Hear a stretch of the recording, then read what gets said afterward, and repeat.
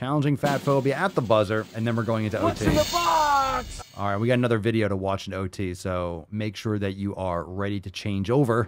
One of my favorite questions Oh. when it comes to challenging fat phobia Challenge. is Nice snake if tattoo. you were doing all of the healthy habits you wanted and you were feeling good in your body, why would it matter if you lost weight or not? Because what I usually hear people What? talking about is that they want to lose weight so they can feel better. But what happens if you're feeling better, if you're taking care of yourself the way you want to, and you don't lose weight? What are then you're probably not changing your habits. if you have extra fat to lose and you're not losing it, then you're probably not changing the right habits. Yeah, I don't, I I don't, uh, this doesn't really make sense. What are you gonna do then? Are you gonna do the thing that doesn't feel good? Because Like challenging yourself? sounds like it's defeating the purpose then.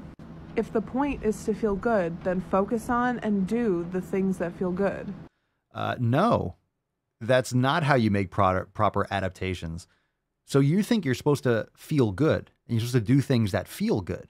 You're supposed to do things that get the results to optimize your wellness. You're supposed to do things that challenge. You're supposed to do things that your body requires. It doesn't have to feel good. Does training feel good?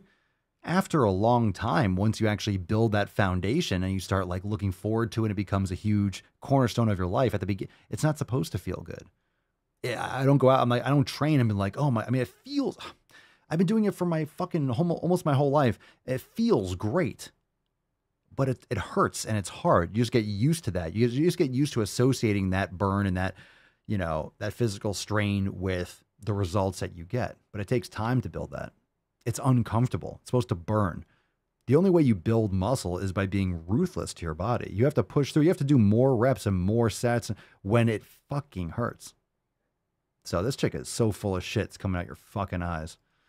Why does weight loss have to be in the mix at all? It will be.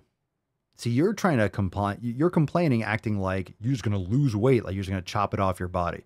You just don't want to change your habits. You want to keep on eating your Krispy Kremes and pretend like you're getting healthier doing that.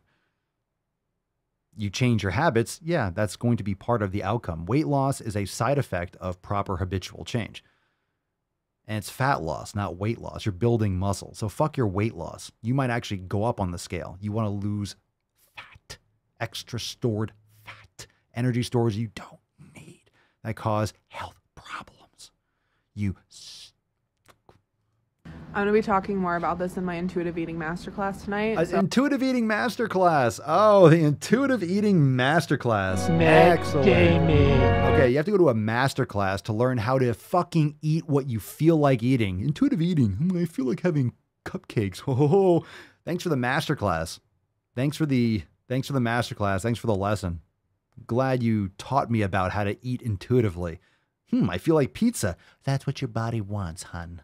So if you want to change the way you relate to food and body, go to the link in my Yeah, if you want to lie to yourself, if you want to change and make proper, make more complicated, verbose or verbose, um, I should say verbose uh, excuses, join my masterclass. So we'll be able to fuck your brain over more. You'll be able to practice your cognitive dissonance and pretending like your actions don't have negative outcomes. All right, good justification for being a fat ass. Excellent.